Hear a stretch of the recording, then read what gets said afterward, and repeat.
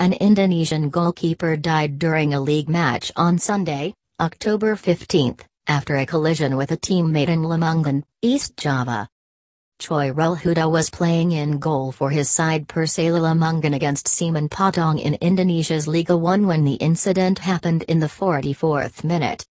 The 38-year-old Choirul collided with Ramon Rodrigues's knee when he made an attempt to collect the ball in the closing moments of the first half.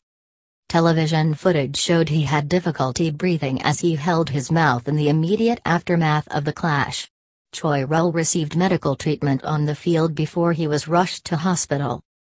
Choi Choirul was still breathing, though unconscious, when he arrived at the hospital in Lamongan but succumbed to his injury soon after. Zaki Mubarak, the doctor attending to Choirul, said the hard impact on the keeper's neck and head resulted in hypoxia, a condition in which a part of the body is deprived of adequate oxygen supply at the tissue level. Choirul joined Persela in 1999 and has been the club's first choice goalkeeper since 2002.